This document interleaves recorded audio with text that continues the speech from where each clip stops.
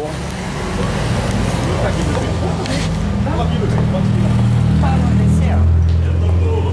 Vamos com ele. No carro da secretaria aí. Eu vou com ele, você queria depois. Tá.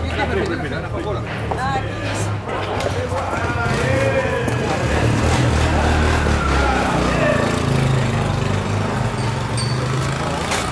E aí, Paulo?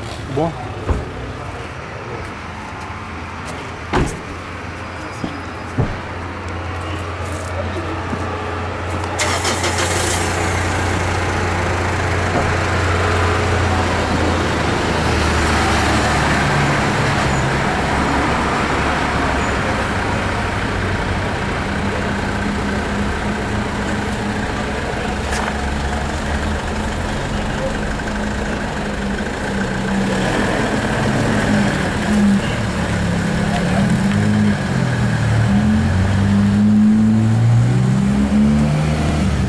Secretário, boa tarde, tudo bem? Acabei de flagrar vocês ali com o assessor do Guilherme Mussi.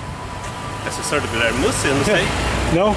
Não sei. Mas do que, que se tratava essa reunião? Não, é, é um grupo de empresários que estão trazendo para o Brasil uma tecnologia nova em tratamento de lixo, tratamento de resíduos.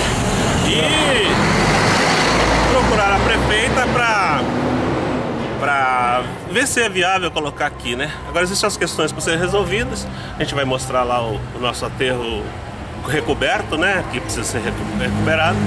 Mas eles estão analisando a possibilidade de, né? Não está nada decidido. O fato deles serem assessor do Guilherme Mussi e o outro ser do PSD não tem nada a ver, não foi nenhuma reunião política.